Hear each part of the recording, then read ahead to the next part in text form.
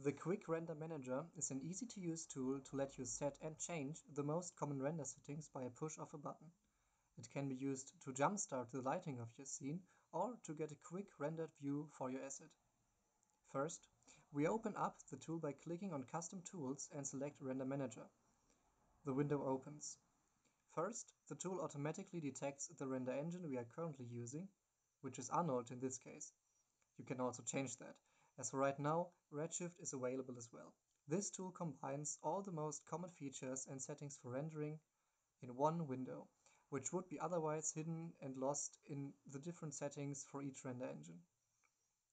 The first thing we can change is whether we want the image to be rendered deep, which is a feature that grew bigger and bigger over the last couple of years.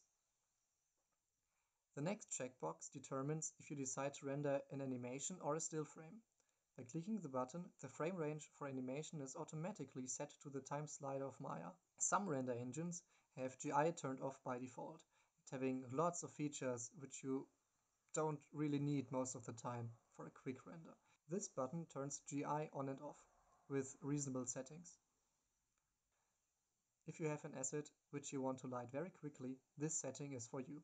Light source and sky gets created and deleted by this checkbox.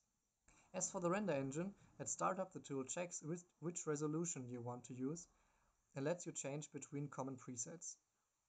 As every render engine has got different methods for sampling and denoising your image, the render manager tries to find an easy-to-use approach and solution for most render engines by condensing it into a single number.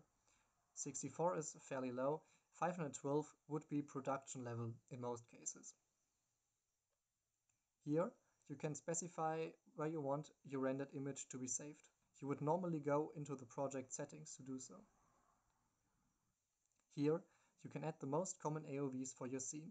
By double-clicking on the name, you can specify the settings. Also, it is possible to add an ambient occlusion render layer. However, this feature is still in beta and does not work properly all the time. That's pretty much it about this tool. Thanks for watching.